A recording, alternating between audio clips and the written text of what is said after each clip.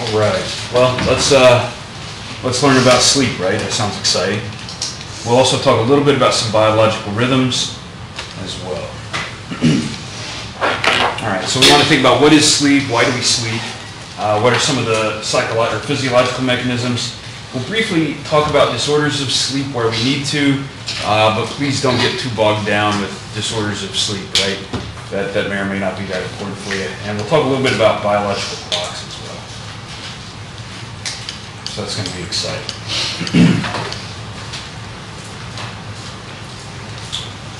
All right, so there's the brain. Uh, this is just showing you a couple uh, brain regions. One in particular we'll talk about today is the suprachiasmatic nucleus. Don't worry about that too much. So what is sleep, right? Uh, I think we can all sort of define sleep, at least in our own terms, right? We know what this is, but for our purposes, we want to think about a few things. Uh, one, sleep is, is definitely a behavior, right?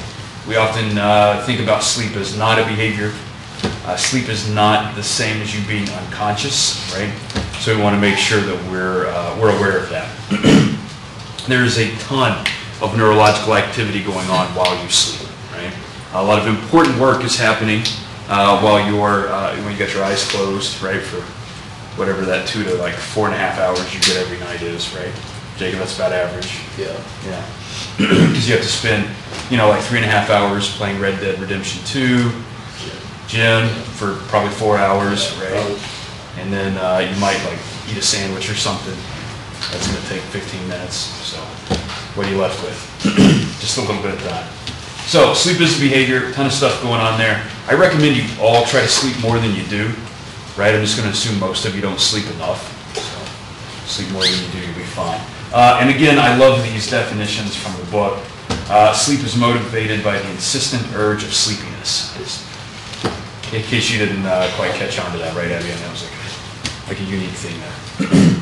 but uh, we might actually talk about what is that sleepiness? Why, why does that urge occur, right? But we want to think about it on that biological level, not just, well, geez, I've been up for like three days and now I'm tired. But there's some uh, neurochemical things going on we want to think about, right? One of the first things, though, we want to talk about are stages of sleep, right? How many of you have heard of different uh, stages of sleep, right? There's like slow wave sleep, there's maybe deep sleep. Some folks have heard of uh, REM sleep, non-REM sleep, right? We'll talk about some of those, give you a few other things. If you really want to know uh, what stage of sleep someone is in, you really have to do some uh, some important things, right? The first thing you do is you just wake them up and ask them, right? Scott, you just like shake them, hey, what stage of sleep are you? They're like, oh, three. Uh, no, it doesn't really work that way, right? They're outward sort of measures of uh, physical activity, muscle tone, eye movements, obviously, and uh, brain activity as well. We're going to measure those things, right? So one of the first things is an electromyogram, right? EMG. Uh, you can put these uh, electrodes on or in your muscles. You can sort of measure muscle tone, right? Usually while you're asleep, you're not moving as much, right? There are certain uh, stages of sleep where you should be paralyzed, uh, and we'll, we'll talk about what happens when that doesn't happen, why that is. So using that EMG, we can sort of figure out some things about which stage of sleep you're in. Another technique is the uh, electrooculogram, so we'll measure electrical potentials from around your eyes, right? This will help detect eye movements. So we've already talked about REM sleep, that's rapid eye movement sleep, right? And there's non-REM sleep, so that's when your eyes aren't moving rapidly. So an easy way to tell if someone is in REM sleep is just determine if their eyes are moving, right? If your eyes are moving rapidly, then uh, you're probably in REM sleep, right? That's a no-brainer. Casey, you didn't get that pun. It's a no-brainer because we're just measuring the eyes, not brain activity. Write that down. You're going to want to use that later.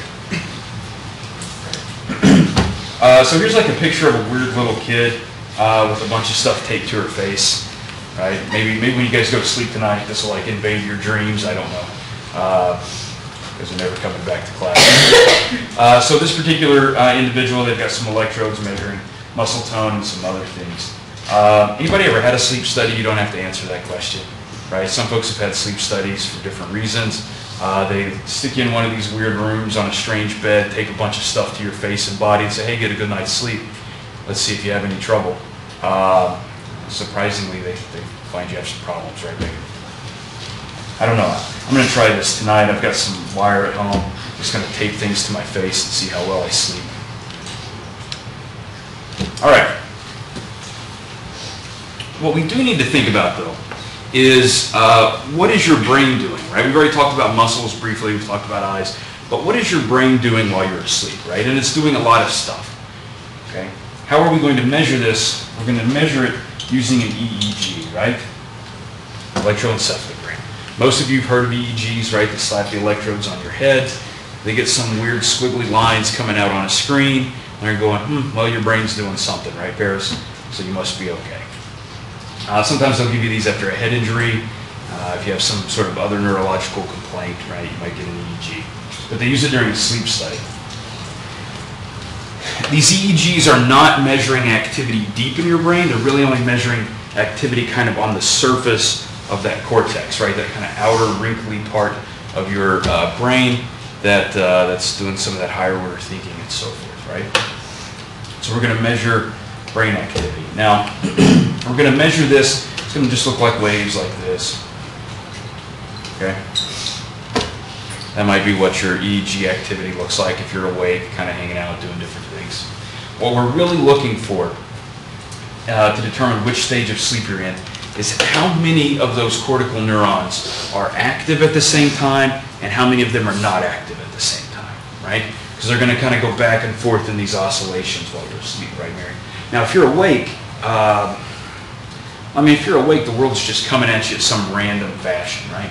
There's not really a pattern to it, right? So your brain activity is just going to be this like random, these little spikes up and down. Whatever neurons need to be active will be active. Whatever ones don't need to be active won't be. And it's just going to vary over time. High frequency, small amplitude, right?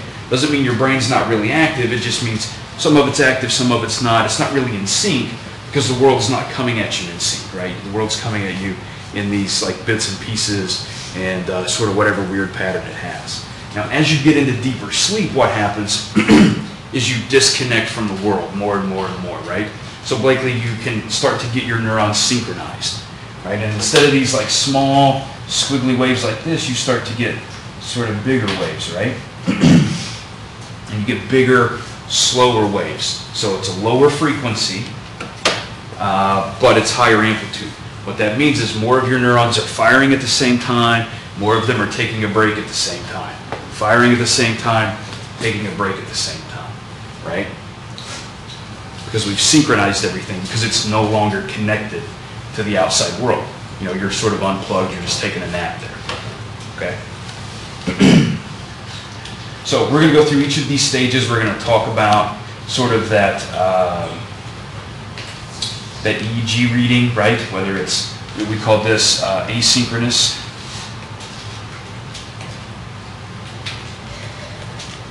And we would say that this is synchronized. Right? Because more neurons are firing at the same time, and then they're not firing. Back and forth like that. I'm not going to expect you to know uh, specific sort of uh, frequencies in each of these stages of sleep but I want you to know the general pattern of how these frequencies move, right? How we're moving through stages of sleep and how the frequencies and the amplitudes are changing as we do that. Is that cool? All right, so if you're awake, which I'm assuming most of you are, uh, hopefully, hopefully, most of you are in this beta activity range, right? It means you're kind of awake, you're attentive, you're doing your business. You've got this very irregular sort of EEG pattern 13 to 20 hertz, right? So relatively fast. You're just firing your cortical cells when they need to fire as information's flying into you, right? You're absorbing that. Okay. Some of you, despite my best efforts, might slip into this alpha activity, right? It happens, it's that relaxed activity. You're getting a little bit smoother, right? This is when you're sitting on the couch, you're kind of relaxing a little bit, Maybe you space out for a few moments. I don't know if that's happened to anybody before, right? Somebody said, hey, were you asleep? And you're like, no, no, I wasn't asleep. Uh, but you weren't really active and aroused and kind of in the environment, right? You're just kind of sitting there hanging out. It's a little bit slower, 8 to 12 hertz, right? You're just kind of relaxed. Okay? Now from there we would move into what we call stage one sleep, right? We get something called theta activity. You know, you're talking about something maybe three and a half to four hertz starting to get some synchronization, starting to slow down a little bit, higher amplitudes, right? We're starting to generally sort of unplug from the environment. From there we move into stage two. Stage two has a couple interesting features. Uh, one of these is called a sleep spindle, right? You'll get a rapid burst. So even though you're kind of moving along slow, all of a sudden you'll get a rapid burst of activity, right? Not a big deal. You also have something called a K-complex, right? What we're trying to do in stage two is really click over Leanne into this really slow wave sleep, right? So you got these medium-sized waves, they're just coming along, and all of a sudden you'll get a big sort of slow wave will fit in there, right? Okay? Because later we want to get into that slow wave sleep, that deep sleep, because we've got some business we need to take care of there. Guess what comes after stage two? Stage three, I know, right? Very creative. Okay, so just, just hang in there. Uh, so you go into stage three. We get something called delta activity here. this is when your frequency is going to be less than 4 hertz. Now the big difference between stage three and stage four is how much delta activity you have, right?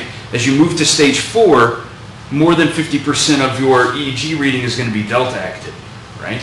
Compared to less than that for stage three. So what we see here is sort of a steady progression, right? From high frequency, low amplitude to this low frequency, high amplitude, right? Because that's something that's not synchronized to activity that is synchronized because we're no longer uh, we're no longer getting information from the outside world, right? All of this information is just going to be what's going on internally. Stage four sometimes called slow wave sleep. Sometimes we'll abbreviate that uh, SWS. Also known as non-REM sleep. Sort of everything we've talked about so far is non-REM sleep, right? REM sleep is going to be the second sort of separate uh, category of, of brain activity that we'll talk about in a few moments. Okay. Any questions? Because this is actually pretty important. So as we're going into deeper sleep, right, we get slower frequency, right, but we get higher amplitudes. And that's because brain activity is more synchronized. All the neurons are firing together, and then they're not firing. And then they're firing together, and then they're not firing, right? Whereas it's going to be desynchronized for the lower, or uh, like when you're awake, right? Neurons are just firing when they need to. Uh, in stage four, more than fifty percent, what is more than 40, 50 percent? Uh, that's the delta activity. That's that, uh, that's that really low frequency, less than four hertz activity. So in stage three, it's less than five, less than fifty percent delta activity? Yeah, usually somewhere around 20 to 50 percent is going to be delta activity. Once you cross over that 50 percent threshold, you're going to be in stage four. Right? And I think, Megan, that just really highlights sort of the continuous nature of this, right? As you're going uh, from asynchronous to synchronized, you know, it's kind of a steady progression, right? It's on a continuum. All right, so here's an example of an EEG recording. Uh, this is going to be something where we are um, firing at random, right? All those messages are just doing whatever they need to do. They're handling that information that's going to be while someone is awake. right? Here in trace A, much slower, right? This is probably like a stage uh, four, right? Look at all that nice, those nice slow waveforms, right? So if we were to count these peaks, we're not talking about that many peaks. If we count the peaks here, you've got all kinds of peaks. So it's higher frequency, low amplitude, asynchronous, right? Here we have low frequency, high amplitude, synchronized.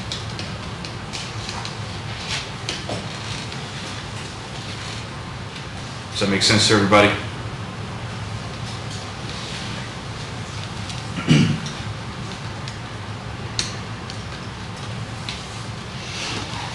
All right. Again, all of that was in the non-REM sleep category. Once you get into REM sleep, we have some other uh, business going on. So REM sleep looks very much like awake uh, EEG recordings, right? We get a lot of beta activity, which is exactly what we would see sort of in that, um, you know, that awake state, right? So the EEG recording from someone who is in REM sleep is going to be nearly identical to someone who's awake, right? Their eyes are going to be moving around rapidly, just like your eyes are moving now. The difference is uh, someone who's in REM sleep should be paralyzed, right? and the reason that we want that person paralyzed, this doesn't happen all the time, but the reason we want them paralyzed is because they're having a dream, possibly, um, about doing some activity, and their brain is sort of reflecting that activity. And if there's not a disconnect between those motor commands coming out, that individual will get up and do those things, whatever they are, right? Which is fine. You might think, well, that would be interesting, right? What if someone was dreaming they cleaned my house? I think, well, that would be awesome. They could clean my house in their sleep, and everything would be fine, right? I wake up, I have a clean house, and I've got less work to do. The problem is, again, you're not really getting information from the outside world coming in, right? And so what if you think you're cleaning um, the kitchen, but in fact you're cleaning, uh, you know, the garage or something, right? And you can really, you know, I don't know, cause some problems. Start a lawnmower, you know, slice a toe. I don't know, things happen. Uh, so it can happen. Uh, you may not even be thinking you're in the, your house. You may be somewhere else, right? Likely, what if you were, uh, you know, dreaming about a softball game and you were inside your house, and you like jumped up and you like grabbed, I don't know, what you have in your bedroom, a lamp, and you thought it was a bat, and you swung it, right? You busted out a window. You can see where this becomes a problem, right? So thankfully, uh, most folks are paralyzed while they're in REM sleep. Now, there is a, a disorder where folks don't get paralyzed. They'll get up and do things. This is different than sleepwalking, right? So folks will get up and they'll do um, all kinds of weird things, including kill people. Uh, yeah, I know, right, Megan? So uh, that's actually, it's been successful. I wouldn't recommend this. So I, I typically don't recommend killing people. Sort of like, that's my general approach to life. Is there a Uh, legal precedent? there is a legal precedent for using uh, sleep disorders, certain sleep disorders, to get out of uh, certain uh, crimes. There was a guy a few years ago who killed his in-laws. He like got in his car, drove to his in, I know, right? Drove to his in-laws' house stabbed both of them while they were asleep. Went back home and went to sleep. I mean, it was like still asleep the whole time, right? I know, that's pretty crazy. Um, and he uh, actually was acquitted uh, because they were able to demonstrate that he had a severe sort of sleep disorder that So they just like, someone handcuffs him to his bed every night, like, You know, I don't know. I, I would assume that's what I would do, right? I think if I had this problem, I would try to like tie myself to my bed or have someone like come check on me, you know, like every night. And It's like I'm waking up in the morning or whatever. Um, so there you go. Yeah, it's pretty serious. This is this is more serious. Some of you may share a bed with someone who is um, they kind of toss and turn a little bit, right? Uh, this is much more serious than that, right? That can be easily remedied, you know, with like a quick kick in the leg. Uh, usually works, just as a heads up there. Um, you can check people's legs for bruises and see if they're the, the, the person who moves in, in their sleep or not, right? Uh, so, it's a quick, easy way to tell. But uh, REM, uh, folks who aren't paralyzed during, during REM sleep, that's actually a pretty severe sort of situation, right, to get up and do things. Completely different than sleep eating disorder, right? I know somebody's gonna ask me about sleep eating disorder. Who wants to ask that one? Nobody? Uh, so sleep eating disorder is a different situation. Folks will wake up, they'll get in their refrigerator and they'll just like start eating things, uh, which creates two sorts of problems. One, you might eat things that aren't properly prepared, right? So if you just go and like start scooping out raw meat, that doesn't sound like a good idea. The other thing is you can be really disturbed the next day when you go in and your turkey sandwich is gone. Um, and you think someone broke into your house in the middle of the night and took your turkey sandwich. Uh, and you get really, because I mean, you might have had like a nice slice of tomato and some smoked gouda on there, on a nice, you know, two pieces of rye bread. Somebody takes that, you're going to get pretty upset, right? So, uh, sleep eating disorder, that's sort of a, a problem as well. Completely different than folks who aren't paralyzed this. Also completely different than uh, like folks who sleepwalk. Probably some of you have uh, done some sleepwalking before. Seems to be fairly common in like uh, boys who are like seven to 12 years old, right? They'll tend to like get up and like say and do weird things and then go back to sleep or go back to bed. They're sort of asleep the whole time. They'll grow out of that typically. Do you have any idea how, like, different sleeping medications like Ambien can affect that? Because I know it can cause sleep eating and sleepwalking. Yeah, so, so I, Yeah, try to stay off the Ambien if you can. I mean, that's just, it's just like a general guideline. I know some folks need it, that's fine. Anytime you start, so we'll talk in a little bit about uh, some of the chemical signals that control sleep and the different brain regions involved. The problem is this is a very complex and coordinated behavior, right? And, and I think people don't think about it. It's like, I'm just going to sleep. So I'm going to sleep. I do it every day.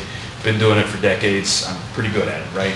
Uh, but there are a ton of chemicals, and when you start like dialing around with one and, and maybe not others, then you turn on or off certain of these brain networks and circuits, and, and that's that can be problematic because we don't have a great way of sort of adjusting everything in the right direction all at once. Does that make sense? We'll get into some details on that hopefully in a few months. So when people are sleepwalking, what stage are they in?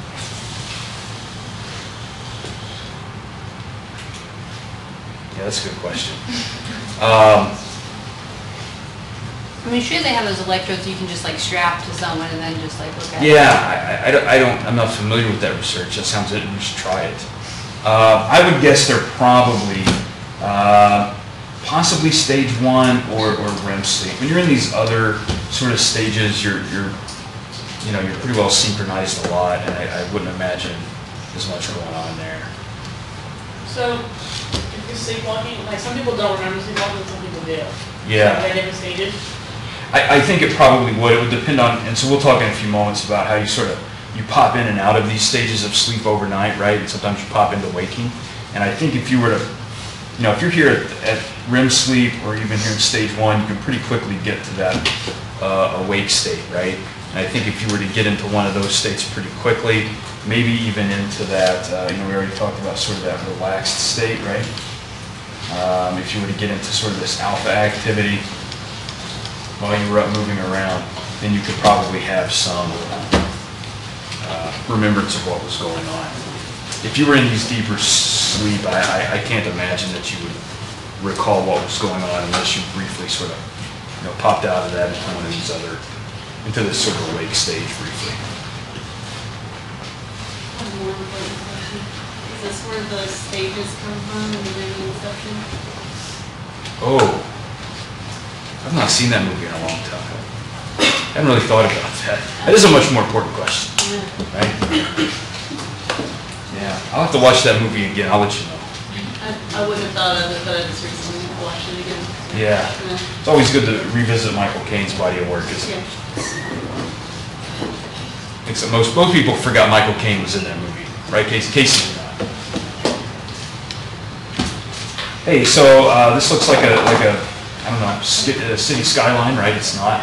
This is what you should do. This is that mythical unicorn person who sleeps eight hours a night, right? I'm pretty sure they don't exist. Because I think some of you sleep four and the rest of you sleep 12, right? I think that's, that's where most people are. Is that right, Abby? Yeah. You know some people in that 12 category, right? You might be in that category, I don't know. It's okay. So, uh, over the course of the night, you start out awake, obviously. You're going to go through these stages of sleep, kind of up and down. What I want you to take away from this is sort of the pattern of this sleep, right?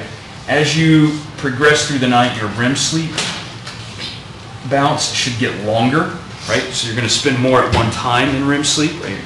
Uh, and you're going to go into deep sleep less often, right? So you're going to get into deep sleep pretty early. You're going to stay down there for a little bit, and then from then on, you're going to kind of stay in those, uh, you know, that uh, stage two, maybe stage three sleep at the deepest, right? So you're going to constantly be kind of moving up and down throughout the night. Eventually, you're going to go, whoa, I'm awake, ready to go through my day, and uh, start this process over.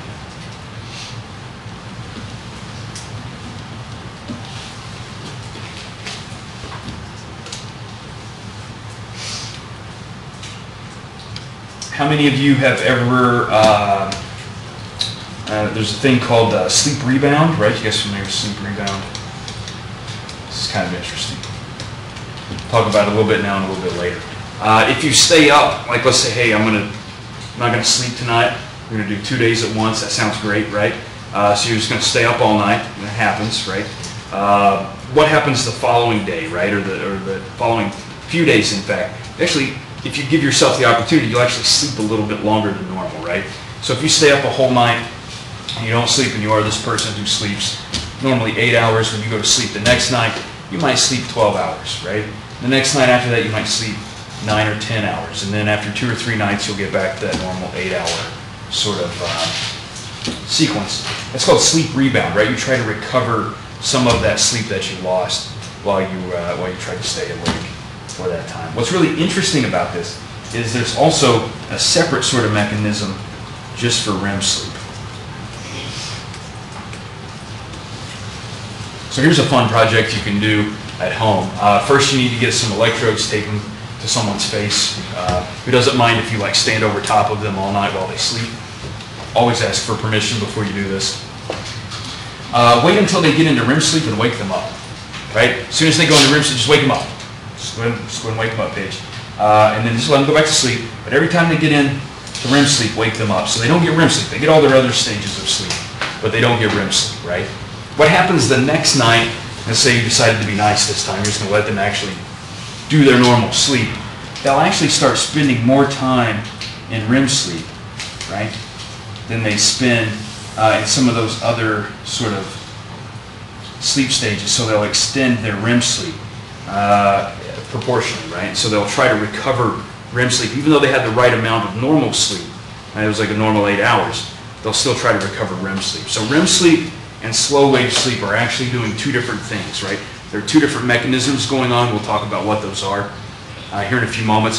So you need both of these. You've got two different mechanisms that control this, right? Be pretty cool. All right. Uh, so again, here are some characteristics of uh, REM sleep versus slow wave sleep. Right? I think we covered most of those. We didn't talk about genital activity, but something you can think about if you want to. Anybody read the book and the interesting story about the roll of stamps? Nobody read about the roll of stamps. That's a fun one. I know about it. You know about it? Who said that? Autumn? Is it where they used to do it? They don't do it like that anymore. No, they, I mean, I, I think because they don't sell stamps and rolls. I don't know. Uh, do they sell stamps and rolls still? Anybody work at the post office? I worked at a grocery store and no, they don't. Sell them in rolls, okay. So previously, uh, they used to sell stamps in rolls, right? So you had like a stamp, and it had this little like perforated edge. That's a great looking stamp, right?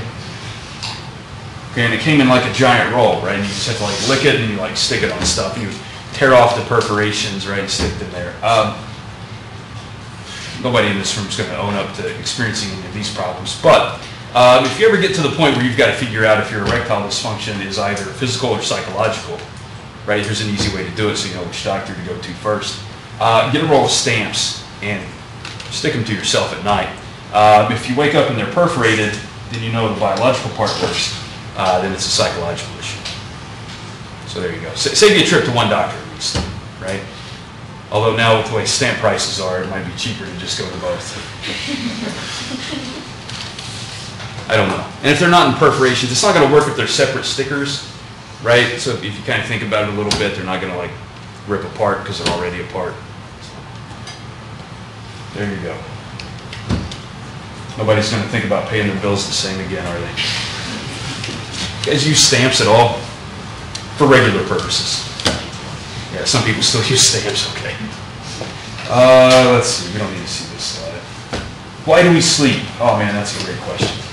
Uh, there's actually this interesting, you guys might not think it's interesting, but there's an interesting competition they have every year. It's like a, uh, like a science comedy competition where folks take actual science articles and kind of like make that into some kind of hilarious theory. Uh, and there was one that came in second place a couple years ago. The idea is why we sleep is it's the only way to get away from our own consciousness, right? So we have to sleep to escape ourselves. Uh, most other people you can just walk away from. Know if you've ever tried to walk away from yourself. It's a fast way to pull your groin. Uh, just try to go in two directions at the same time. It's going to be painful. So, uh, why do we sleep though? Or why do we actually sleep? Again, what's important is to know that sleep is not being unconscious. That's something different, right? Some of you may have been unconscious before. Some of you may have been hit in the head with something. Um, sure, you don't remember it, but your friends do. Uh, some of you may have been anesthetized for a medical procedure, right? Some of you may have been abducted by aliens. They'll anesthetize you as well, right? That happens. So, why uh, do we sleep, right? There's this mental activity going on during both REM and slow wave sleep. It's important stuff. What's kind of cool is all vertebrates sleep, right? How many of you have a dog or a fish, turtle? It sleeps, right? They all sleep. What's really sort of interesting about that is that only warm-blooded vertebrates actually have REM sleep, uh, including that muscle paralysis, that uh, desynchronization of their EEG, and rapid eye movements, right? So that means your turtle, if you have a pet turtle, doesn't have REM sleep because it's not a warm-blooded vertebrate, right? So it has some other kind of sleep thing going on, not necessarily REM sleep. So if we want to think about REM sleep, we're thinking about things like mammals, birds, you know, those are kind of the big guys that actually have uh, slow sleep. So if you have a pet parrot, right, and it goes to sleep, its eyes are probably just moving around uh, while it's asleep at some point, right? Anybody have a pet bird? Nobody's owning up to that. I know you all have parakeets at home. all right. So what do we know about sleep uh, deprivation? What don't we know about sleep deprivation? Well, what we have found is that sleep may or may not be important for your normal body function, right? If you're not sleeping, your organs will still kind of, for a while at least, continue to do their normal business, right? Uh, however, we do know that it is very detrimental to your cognitive abilities, right? Folks who get a good night's sleep do better on exams. You guys should remember this in a couple weeks, right? If you don't know it the night before the exam, staying up is not going to help you, right, Casey? What should they do? Go to sleep. get a good night's rest, you'll do better uh, the next day when you come in here. So always get a good night's sleep every night, but definitely before exams. Uh, we already talked about rebound sleep. There's actually uh, significant evidence now indicating that uh, sleep deprivation, like over the course of your life, can lead to uh, an increased likelihood of developing Alzheimer's disease, right? And so we'll talk about that. Yeah, so while you're asleep, one of the main things that's going on is uh, there are mechanisms that are cleaning up your brain, right? During the day, there's a lot of cellular debris that's created, right? This stuff, just junk, just kind of lying around your cells as your brain's like cooking away, doing all of its business. When you go to sleep, there are mechanisms that come in, they clean up that debris. Dylan, if you leave that debris in there, it helps create those, uh, you know, those tangles and those plaques and things that really uh, are, are hallmarks of Alzheimer's disorder. So get a good night's sleep so you can remember what you're doing when you're older. You got plenty of time now to correct your behavior, right? Hey, who loves dolphins? All right. Be proud about that. Dolphins are, there you go. Thank you. So dolphins are cool. Uh, dolphins have a really interesting way of sleeping too, right? Uh, they all sleep on water beds. That's not true. Some of them like the spring mattresses. Uh, what's really cool about dolphins is they sleep one hemisphere at a time, right? They only sleep one side of their brain at a time. The other side is awake, right? And this is because what, what do you have that dolphins don't have? Seriously. You have a bed. Dolphins don't have beds, right? Also, there's something trying to eat a dolphin all the time, right? Okay. Hopefully that's not happening to you. Hopefully there's some breaks from that. So, there's a dolphin swimming around. It has to keep moving, right? It has to keep going up, getting some air, and going back down, evading predators. So it's only going to sleep one hemisphere at a time. so here we go. Here's a dolphin. The left and the right hemisphere both are awake. We get that normal. That's the EEG reading that we would anticipate, right? High frequency, low amplitude. Says things are desynchronized, right? We're just responding to the environment as it's coming at us. Okay? This dolphin said, hey, I'm going to sleep my right hemisphere first. So what do they do? They start putting their right hemisphere to sleep, keep their left hemisphere awake, move through those sleep stages, and then they just flip, right? Now the left hemisphere is going to sleep and the right hemisphere is going to be awake. What about sharks? What about sharks? Because like, don't they like never stop moving before? Yeah, I would assume sharks would do something similar. Uh, as a as a fish and not a mammal, again going back to that like you know, cold-blooded vertebrates have a completely different sort of sleep thing going on. It'd be really kind of hard to, to compare that. Uh, but that's sort of a, uh, of an interesting question. If you want to study that, I would I would recommend being careful how you put the electrodes on a shark. But otherwise, I think you'll be fine. So do dolphins not get like lack of debris in the brain? You know, I don't know that anybody's done an Alzheimer's study on dolphins. Uh, and I, I think that would be really interesting. I think it's really expensive. Uh, and, and I also think like some people are going to get upset about that, right? Like, like whacking old dolphins. have and- the cure to Alzheimer's Pulling out their brains. It's quite possible, right? that. Like they, they always have the ability to like clean one hemisphere at a time. You could be doing that right now, right? Just go, you'll need the right hemisphere for a couple hours. Let me just put that on auto clean. You know, pull the dishes out of the dishwasher later and you're good. Uh, yeah, I, I don't know. I don't know. Mary, that's an interesting question. I don't think there are a lot, here's the problem, there aren't a lot of captive dolphins, right? And so what we could do is instead of just like killing the dolphins and just wait until they die, because you know, dolphins do die, it happens all the time. Um, we could wait until a dolphin dies and then like pull its brain out and take a look at it. Well, that would be fun. Um, but I don't know. Dolphins are interesting, right? You know, they all have names, uh, like for themselves. So they, they, they like scream their own names as they're coming up on other dolphins. So they have these like, you know, these sounds they make, right? And so each one kind of like screams its own sound as it's approaching other dolphins. It's like, here's Charles. Uh, it's just like coming right at you. Uh, now they don't seem to really use each other's names, right? So they just kind of scream their own. It's kind of like their theme song, right? There's like arriving on the scene. It's kind of like here's their noise that they make. It's kind of interesting. So do they have contralateral movements in their brain? So like how can Yeah. you sleep a part of your brain if you need it to control movement on that side of Well, so the nice thing about a dolphin is, right? They're all pretty well. I mean, they swim in a circle, I guess. I don't know. I, I mean, their tails are going up and down, right, not side to side. So you can imagine just like moving one side, side's kind of, looks like just kind of flopping. And one eye will close. So not only do dolphins do this, but ducks do it as well, right? Uh, ducks again being um, warm-blooded, right? So they kind of have like regular sleep like we do. So ducks will also sleep one hemisphere at a time. The cool thing about ducks, when they do this, like some the ducks, they typically like they'll they'll get a bunch of ducks like in the middle like this, right? And then they'll have ducks going around the edge. Because ducks also have to constantly be watching for something, right? And what these ducks will do is they'll sort of sleep the um, hemisphere that's on the outside, right? So they keep their outer eye open because it is contralateral control, right? So they'll sleep the hemisphere that's got the eye to the inside here, and then they can still keep a watch on what's going on on the outside. So they'll have the ducks like swim around. And these ducks in the middle, like they'll sleep both hemispheres at the same time, and then they'll kind of rotate in and out, and they'll swim in the other direction so they can sleep the other hemisphere later. There you go. Anybody have a pet duck? Really? That's exciting. So watch it when it sleeps, like see if one eye's open or not, right? Just kind of check it. sneak up on a duck. All right, other questions about, about that? That's kind of interesting.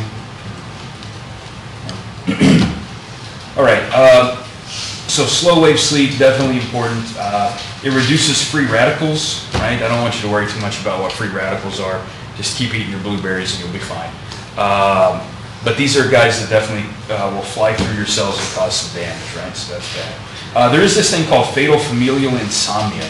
Please do not have a freak out because someone's going to go, oh, I can't sleep at night, I'm in insomnia. That's probably not true, right? The odds that any of you have insomnia is like incredibly small, right? All of us have experienced times when we've had difficulty sleeping. That's perfectly normal. Just deal with it and move on. Uh, this is a particularly uh, sort of nasty disorder that's inherited. Um, you get this progressive insomnia right over time. Usually once you're diagnosed with this disorder, you've got about six months until you die. Yeah, it's pretty crazy. Uh, you actually start to have a breakdown of a lot of your endocrine function, your autonomic nervous system gets out of whack. You also constantly feel like you're sort of in this weird dreamlike state, right? Because you're like, you should be going to sleep, but you're not, but you can't. Some real problems. Uh, what about REM sleep? Definitely promotes, promotes uh, brain development, facilitates learning. We already talked about that REM rebound phenomenon. All right, and there's your fatal familial insomnia. We talked about sleep rebound and REM rebound specifically. Ah, here we go. So, sleep definitely helps you take long-term memories and turn them into, uh, you know, those important things that you want to hang on to. So, really that consolidation process is aided. We don't know much about consolidation yet, we'll learn about that in a few weeks, right? But basically, we're gonna take a short-term memory and we're gonna turn it into a long-term memory so you can access that at a later time. That's important. So what I would recommend is after this class, just go home and take a nap, right? See? It's a bright idea. How many of you do that? Yeah, I'll know how many of you do it when I grade your exams in a couple weeks. Can go, these are the nap folks, and then down here are the folks who stayed up all night the night before. So you can definitely tell there's a difference. Uh, what's interesting about this is REM sleep and slow wave sleep actually help you with two different kinds of memory. Now again, we don't really know what these kinds of memory are, and I'm not going to ask you about them. I'll ask you in a few weeks. But REM sleep helps with something called non-declarative memory, and slow wave helps with something called declarative memory. So for this particular class, Casey, do you have a recommendation on whether they should try to get REM sleep or slow wave sleep? Because we wanted to help probably with declarative memory, right? So probably getting into slow wave sleep is going to help you guys out the most, right? So you don't have to take a long nap after class, just enough to get into slow wave sleep, right? You can pop back up and do your business the rest of the day. And here's a nice graph basically showing you um, what I just talked about, right? These are some folks who were able to take either a 90-minute nap uh, that had slow wave sleep or a nap that had slow wave and REM sleep or no nap. What you see is those folks who were able to get slow wave sleep and REM sleep had a massive uh, improvement on this particular memory task. Right? Uh, here's one for declarative and non-declarative memory. Again, the story to take home is folks who got a nap uh, were better at that declarative memory task. So the- difference between declarative and non-declarative? So we'll get into a lot of details on that later, but declarative, the example they use here is like words, right? So they'll give you like a list of words and you have to tell me which ones were paired up before. So that's pretty good. Yeah, you can tell me what that is, right? Non-declarative is where they learned, uh, in this case, it was a mirror tracing task. It's a pretty common task uh, in psychological research. So you'll have a mirror, and then you'll have some sort of thing you have to trace, and you can't see your actual hand, right? So you can only see the reflection in the mirror, and you have to try to try to trace that object while looking in the mirror. So that's not you're learning how to do something and you're remembering how to do it, but it's not something you can really declare to me that you can do, right? I mean, you can say yes, I can trace something by looking in a mirror, but what we'll do is we'll measure your performance. It's kind of like uh, I'm sure played the game Operation probably go and play it every night, like pull out the funny bone. I don't know. That's fine. Uh, so there's like a, you'll have like a metal stylus, and if you vary off of this path, it'll bam, bam, and it'll just like keep track of all your errors. Casey, do we have one of these devices here? Do you know if we have one of those mirror tracing setups? Sure. Hmm. We should get one. You should make one. you need a mirror, a piece of metal, a car battery, and a, a piece of paper with a black line on it. Get right on. Does that make sense, Megan? All right, so, any questions about that? Great. So let's talk a little bit about how we control sleep, right? What are the mechanisms of sleep and waking? Definitely going to be talking about the chemical control of sleep. While you are awake, you're constantly producing some kind of substance, we'll talk about what that is in a moment, that's going to promote sleep, right? And as you build up enough of that substance, it's going to overwhelm your other brain mechanisms that are keeping you awake, okay? And it's going to make you go to sleep. While you're asleep, you'll destroy that sub- substance. Okay? This is a no, uh, this is pretty simple. The longer you're awake, the longer you need to sleep so that you can deactivate that substance, right? That makes sense. If you're awake longer, you're going to produce more of that byproduct. You need to sleep longer to destroy that byproduct.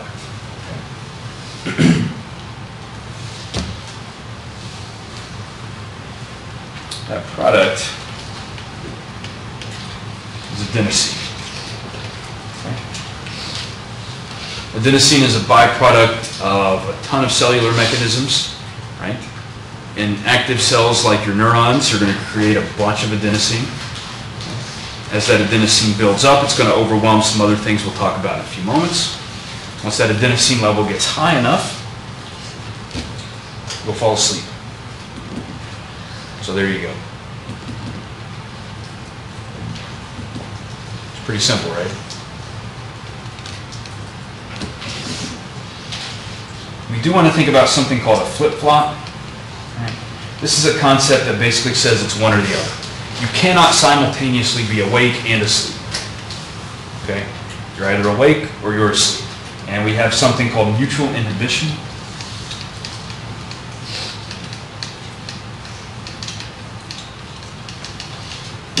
we'll talk about in a few moments. These brain regions that control sleep and wake, when one is active, it'll inhibit the other. When that one becomes active, it'll inhibit the first one, right? And so only one can be on at a time. Okay, so you can't turn on both, you can't turn off both, right? I mean, I guess at some point, both will turn off, but and that's called death, so that's a later, that's a later thing. All right. There's adenosine, right? We've already talked about. All right. So here is sort of why caffeine, how many of you have ever taken caffeine? Yeah, how many of you are taking caffeine right now? What I thought. Uh, what, why do you, why do you ingest caffeine? All the cool kids do it, right? Uh, you do it to stay awake typically, right? It's like, well, I'm getting sleepy, I want to take some caffeine. So how does caffeine actually work and how does that keep you awake, right? Well, it actually is pretty cool because it actually blocks these adenosine receptors. So as your cells are doing their business, whatever that is they're doing throughout the day, right? Your brain cells are just cooking away. Uh, you're doing some math, you're doing, you know, whatever, English class you have, whatever you're doing, walking around, eating a hot dog, I don't know what you do. Uh, you're building up adenosine, right? Your adenosine receptors are receiving that, okay? Not a big deal. Once that gets built up high enough, you go to sleep. During slow wave sleep, we're going to destroy that adenosine. Not a problem.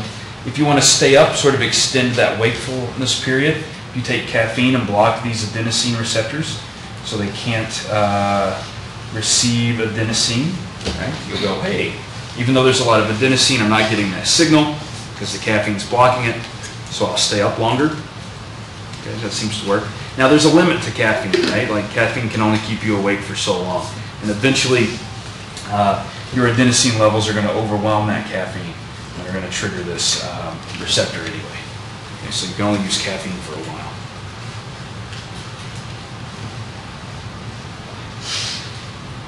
Makes a lot of sense, right? All right. Now we do have about five neurotransmitters that we want to talk about that are going to help us control sleep. Okay? Some of these you've probably heard of. We've talked about at least three of these before, acetylcholine, norepinephrine, and serotonin.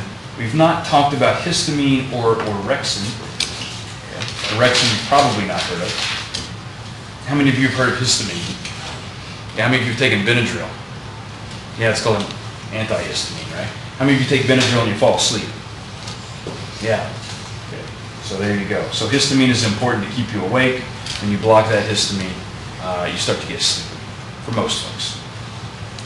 There are some exceptions there. All right, so acetylcholine is important, right, because it produces cortical desynchronization. Okay.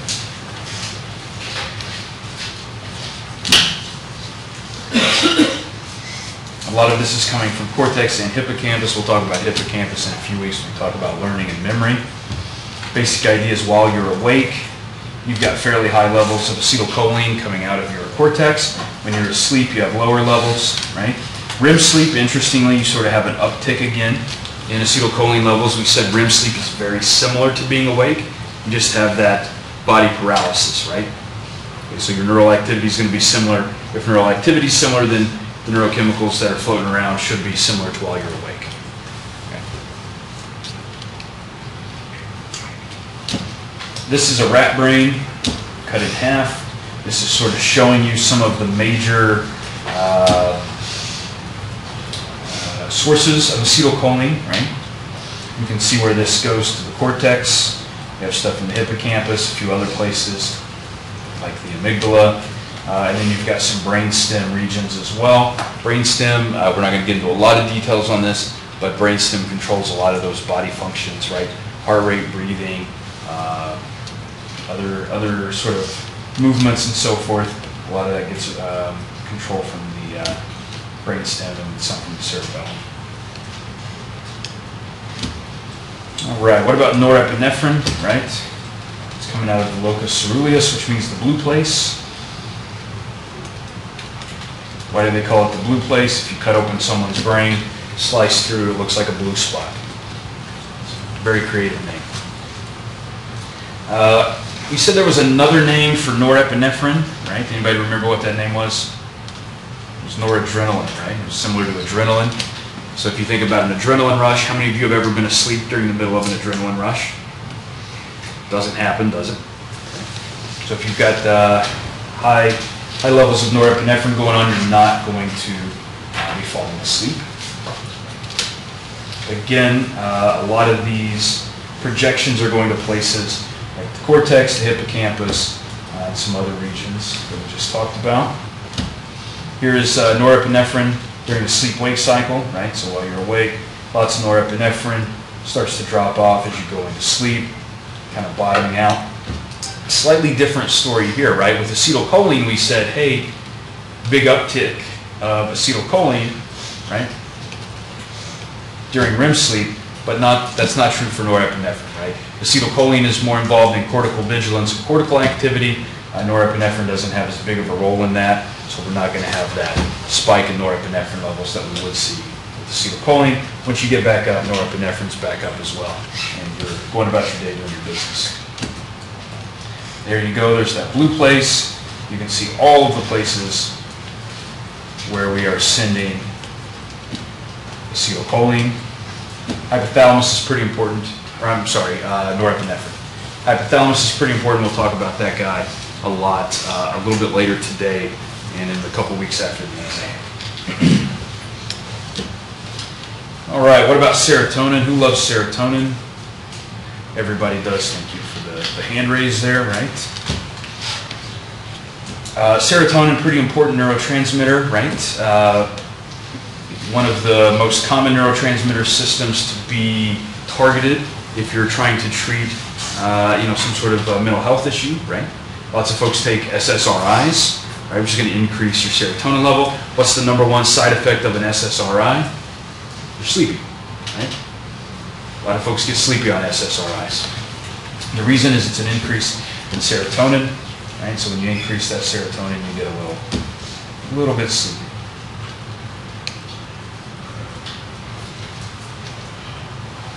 All right, need to worry about that too much. We'll talk briefly about histamine, right? Uh, this again helps promote wakefulness, works with those other neurotransmitters,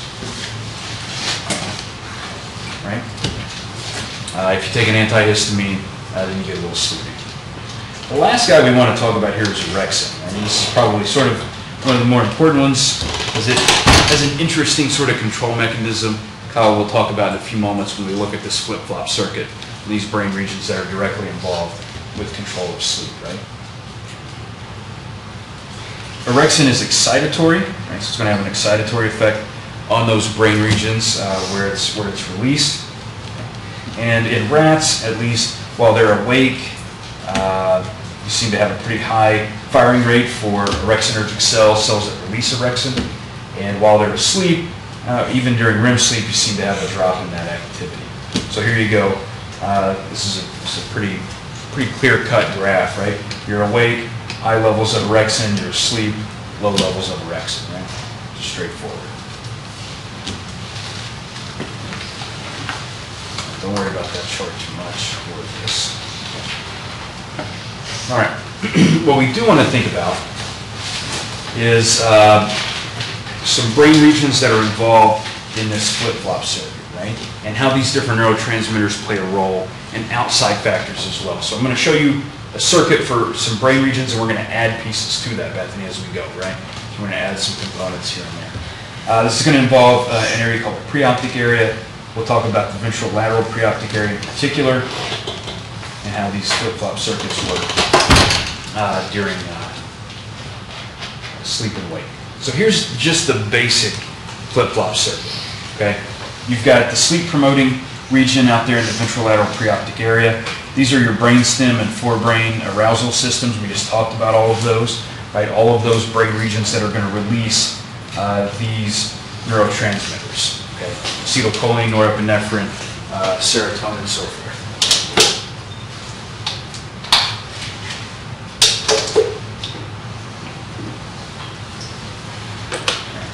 This is the concept of mutual inhibition. If the VLPOA is on, it is actively turning off the brainstem and forebrain, okay, those arousal systems. If those arousal systems are on, they are actively turning off the ventrolateral preoptic right? So there's that mutual inhibition, okay? When one's on, they're actively turning off the other. When the other's on, it's actively turning off the first okay? So this is the basic uh, sort of system.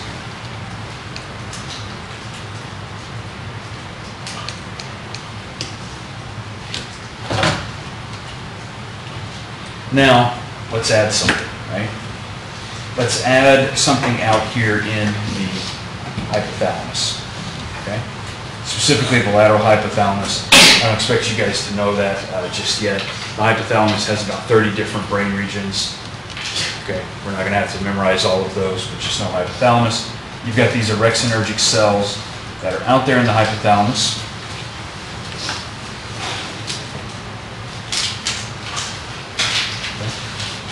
They, again, are excitatory, and they project, project to those brainstem and forebrain arousal systems, right? So when they're active, they're going to actively project to that brainstem and forebrain regions, and they can promote that waking state. So they basically hold the flip-flop on, so they take that switch and just kind of hold it in the on position. And that's because we have some motivation to remain awake. We'll talk about what that is in just a moment. We can kind of add that. Right? So that motivation to remain awake is going to make those orexin neurons active. They're going to release orexin to the brainstem forebrain, and that's going to keep you awake. It's going to actively turn off the ventrolateral preoptic area. Now, those neurons in that lateral hypothalamus that are orexinergic, they actually receive inhibitory input from the ventrolateral preoptic area. So that sleep promoting region is trying to turn off those orexinergic neurons, right? Trying to turn those off so then you'll go to sleep. As you start to accumulate adenosine, even though you're maybe taking some caffeine, you've been to Starbucks eight times today, uh, right? Probably like, spent all your student loan money there. Uh, so that's probably like $100 if you go to Starbucks eight times. I don't know how expensive it is. Coffee's setting the spawn. How you guys drink coffee? Anybody drink coffee on a regular basis? Yeah. I can tell when I grade your exams. Poor choices. Uh, no, it's okay. So, uh, once you get that accumulation of adenosine, right, it'll eventually overwhelm those orexinergic neurons, right? It'll eventually activate those adenosine receptors, shut those neurons down, because when those adenosine receptors become active, they start to become inhibited. Those cells stop firing, they stop releasing orexin, right? So it removes that activation from those brainstem and forebrain areas we've talked about, okay? and allows the ventrolateral preoptic area to then become active and inhibit those regions as well. Don't worry about that too much.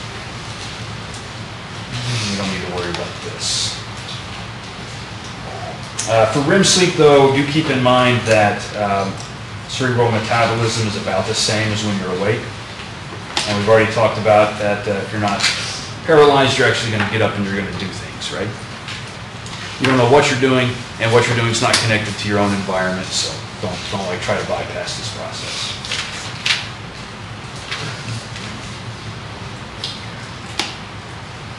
Skip these, and there you go. This is, uh, again, some other inputs to the lateral hypothalamus. Nothing you need to worry about. I'm not going to ask you about the specific REM flip-flop, uh, but keep in mind that there are some biological clock issues that feed into the orexinergic neurons. Hunger. How many of you have ever gone to sleep hungry? It's not an easy thing to do, is it? No. What's better is to eat a big turkey sandwich before you go to sleep. That's a fast way to sleep. Right, Casey? Uh, and if, again, if you are uh, uh, satiated, if you're full, you've just eaten, uh, or had some other sort of satiety activity, you'll definitely be able to go to sleep much more easily. All right. So, Bethany, here's that whole thing squeezed together, right? It's not much, I know it's, it's like a lot, it's busy, right? But you only need to know a few things here. You want to start with these orexinergic neurons in the lateral hypothalamus. Know that they're trying to keep you awake. They're fighting to keep you awake. You keep making adenosine, you keep making it difficult on them, but they're fighting to keep you awake. Once that adenosine level gets so high, they're no longer able to stimulate that arousal system to keep you awake, and the ventrolateral preoptic area takes over, and guess what? You go to sleep. Okay? You go to sleep until you remove all of that adenosine that's been built up, and then those orexinergic neurons again are trying to wake you up, trying to get you going, and get those neurotransmitters dumped out into your brain. It's that simple. Not so bad, right? Uh, disorders of sleep, we can go through this pretty quickly. Um, sleep apnea, I'm not going to ask you about that. Uh, cataplexy, that's kind of interesting. Uh, that's when you're awake and you become completely paralyzed. You know exactly what's going on, but you know. Uh, sleep paralysis. Some people have probably experienced this, right? Um, and it actually it's kind of it'll kind of freak you out a little bit if you don't know what's going on, right? So this is when you're asleep, but you can't. Well, you're not asleep, uh, but you can't move, right? Maybe you've just been asleep. You're just going to sleep, right? You're awake. You can't move. You feel like you can't breathe sometimes. Like there's a giant, you know, sumo wrestler ghost sitting on your chest, uh, which is exactly what's causing it. Uh, by the way, in case you were curious. Uh, what happens here, Alex, is it's a disconnect between that um, paralysis part of REM sleep and you actually accidentally popping into being awake, right? So that paralysis hasn't totally washed out, but your brain said, hey, I'm going to be awake anyway, right? You're kind of just like hanging out there for a few moments and you can't move. Just write it out, you're going to be fine, right? It's just like you were in REM sleep, except you're looking around with your eyes open. Often what happens during that time is folks make up fun stories about what's going on, right? Usually involves an invisible man trying to choke you, uh, right? That's a pretty, pretty reasonable explanation. Bethany? Uh, so sleep paralysis is you've been asleep, right? Or you're trying to go to sleep. Cataplexy is you're just like walking around doing your business and all of a sudden like, it's a good question. Oh, let's see. Sleep behavior disorder, that's the fancy name for uh, you didn't get that REM paralysis like you thought you should. You start acting out your dreams. This, again, we've already sort of described how this can cause damage to you and other people, right? So watch out for that. Sleep eating disorder, we talked about that as well. Most of the time they'll give folks uh, like uh, topiramate, right, which is sort of an anti-seizure medication, sometimes used for uh, migraines. Right? It's a dopaminergic agonist. It seems to seems to work uh, for folks. Or we give them a benzodiazepine. Right? Uh, try to avoid that if you can. Uh, benzodiazepines are great for about 30 seconds, and then you start using them longer than that, you should probably stop. I like to throw that out there. I see a lot of folks who've taken benzodiazepines for an incredibly long time, right? Uh, which a benzodiazepine, like for more than a week, is an incredibly long time, right? It's one of those things like I'm having a giant explosion in my brain right now, I can't handle it, so we need to put you down for a few minutes, uh, and then after that, you should probably like try something else. All right, who wants to talk about biological clocks? This is when you make uh, timepieces out of squirrels. That's another weird hobby. Uh, some of you may have. So we want to think about circadian rhythms, right? These are daily changes in your behavior or your physiological processes. We've talked about some of these, right? We talked about the rhythms of acetylcholine and norepinephrine, and we talked about some of these other sort of sleep-wake things that are going on, right? Uh, there are things called zeitgebers, right? This is a um, some sort of stimulus that's going to reset your circadian uh, rhythm, right? Reset that clock. What's a great thing you can use? Uh, happens every day, so far it has anyway. Uh, that you could use to say like, hey, it's probably like a new day, uh, or like, hey, it's probably the end of the day. Yeah, it's the sun, right? It's like that big thing. I don't know if you guys ever get a look at it or not. It's outside. Kind of just like look up at it once in a while, make sure it's still there.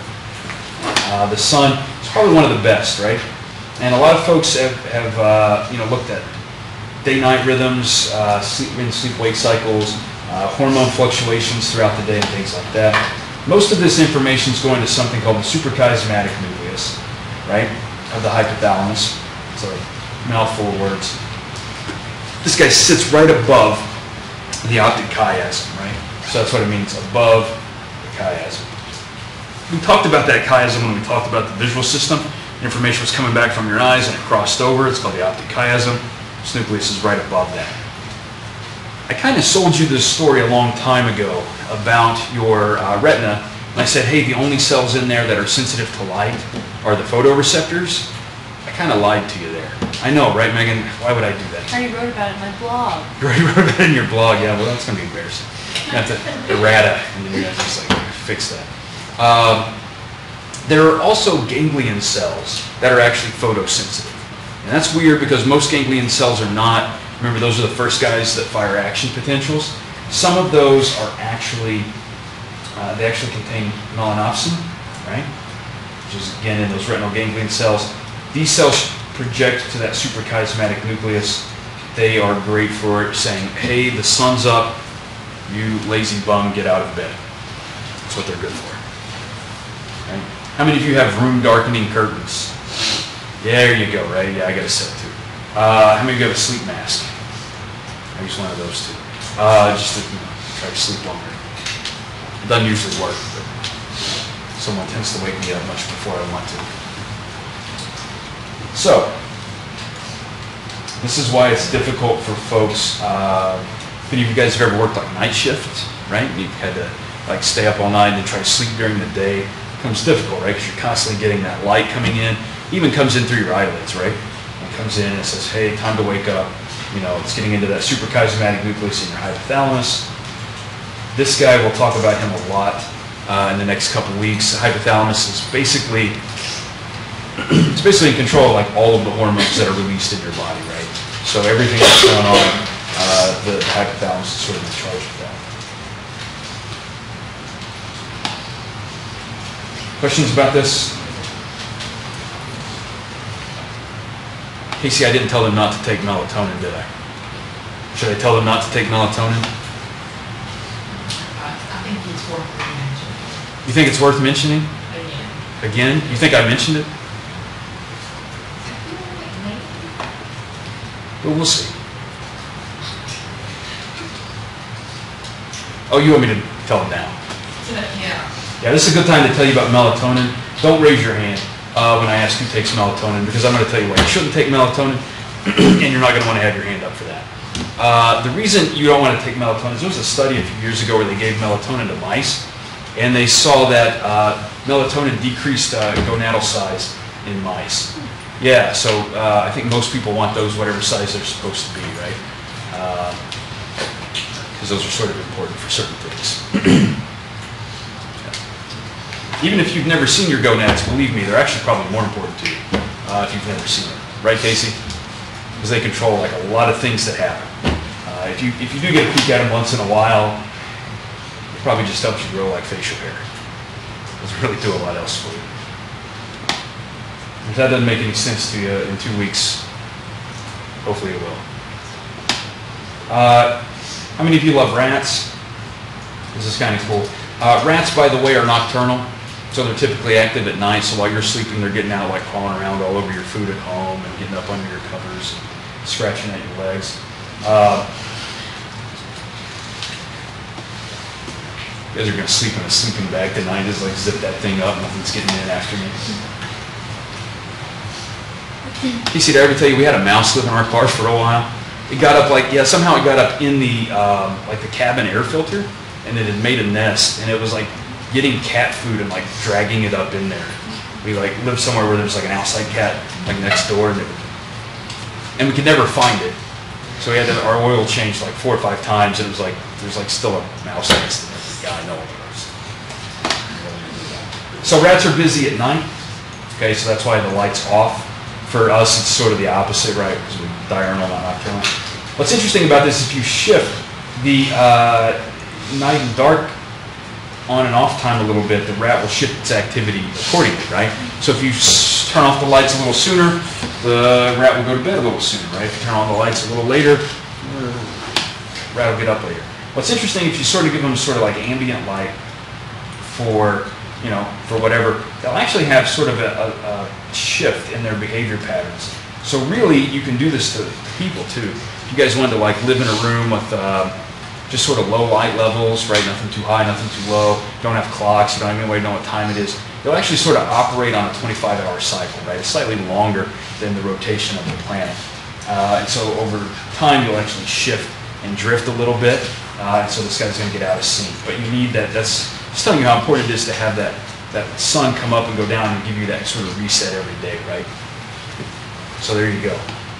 Kyle back there's planning a, a remodel uh, at his house. right? He's like, I'm going to create a room where I can drift my my circadian rhythms over time, over a few weeks. The other thing that's sort of interesting was a study a number of years ago, uh, because people always say, hey, you know, electric lights have really ruined us, right? Because we don't sleep as much as we used to. Back before, you know, people slept longer and people were healthier, right? So, like, so how do you actually determine if that's true? Well, you have to actually find some some sort of traditional hunter-gatherer societies that don't have electricity, right? And then you have to track them. And so a few years ago, uh, they gave, I think it was like 150, 200 people Fitbits uh, who were in these traditional societies. And so they measured their activity over the course of a year, right? How much did they sleep every night? When do they go to bed? When do they wake up? There's a lot of other activity they were monitoring as well. What was interesting is they found that they sleep about as much as anybody in sort of a, a Western society with electric lights as well, right? The average sleep's about the same. So we're probably not sleeping less on average. Know some people are individually, but on average, we're probably not sleeping less than what we used to. So Edison didn't kill us all. That's great. Uh, the second thing that was really interesting about that is they found that it wasn't necessarily just the sun coming up and going that was dictating when these individuals wake up or go to sleep. Some of it was temperature related as well. And so what they found was that uh, during the summer, these individuals would stay awake longer after sunset than they would in the winter, right, or in the cooler months. And then they would uh, actually wake up a little bit after sunset. Uh, you know, the sun had been up longer when they would wake up in the cooler months than uh, in the, in the uh, warmer months. So that temperature seems to be important as well. So if you want to sleep well, the colder you are, the better you'll sleep. Right? If you get down to like, I don't know, seven or eight degrees Celsius, I think that's a pretty good sleeping temperature. Right, Megan? I mean, what is that? It's cold, right? Get it down to zero, you'll never wake up. So, uh, cold, dark, great places to sleep. Uh, that's the suprachiasmatic nucleus for anybody that's curious have to really think about that. We already talked about those retinal ganglion cells projecting back there to the hypothalamus. Brittany, we're, we're just adding another layer here onto this awesome circuit that you loved, right? I'm sure you're gonna like, get a tattoo of this circuit somewhere, right? Uh, Right, right on the bicep. That's gonna be a great place right there. Huh? Collarbone, yeah, right? That's perfect, right? Uh, so again, we have these orexinergic neurons, right? So we have this information coming in, says what time of day it is. It's going to activate those orexinergic neurons. It's going to inhibit the ventrolateral preoptic area so we can get that arousal system turned on and you can wake up. Not a big deal, right? Don't worry about that. Oh, there are sort of two uh, sleep syndromes. One's called advanced sleep phase, and one's called delayed sleep phase syndrome, right? There are folks, uh, believe it or not, that uh, have extreme difficulty waking up, like before 10 a.m. This is not because they're lazy. This is not because they stayed up all night playing video games, right? Although those are, those are a whole separate issue. Uh, these are folks that actually, uh, their biological rhythms are sort of shifted, right, a few hours. They also have difficulty going to bed early, right? So these are folks who can't go to bed usually before like 3 a.m. no matter what they try to do, right? So they're kind of on a, on a delayed uh, cycle. There are also folks who have advanced sleep phase syndrome, right? So these are folks, it's like 9 o'clock at night, and they're like, I'm going to sleep. And then they wake up at like 5 in the morning, right? And it's not because that's a habit, it's not because that's, you know, job related, it's just these individuals, that's what they do. They cannot stay up late at night, no matter what they try to do, however, they try to bypass that. And they can't sleep any later during the day. So feel free to use either of these as appropriate for an excuse uh, for your behavior. Uh, Doesn't work for this class, that's why I teach afternoon classes, right? So whichever one of these you have, you should be awake and at your prime right now. But you can use it for your other classes, family obligations, things like that.